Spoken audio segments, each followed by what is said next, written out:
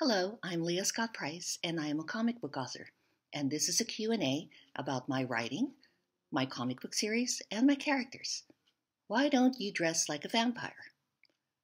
In my photos and in past comic book conventions, I don't dress like a typical vampire with fangs or capes. In the comic book series, my character starts off as a researcher and later becomes an immortal vampire but my persona is just an everyday person, but secretly a vampire.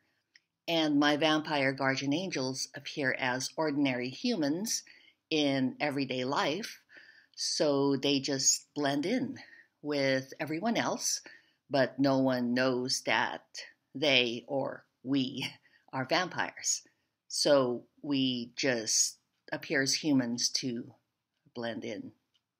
Please like and subscribe to my videos and watch my Vampire Guardian Angels films and animation.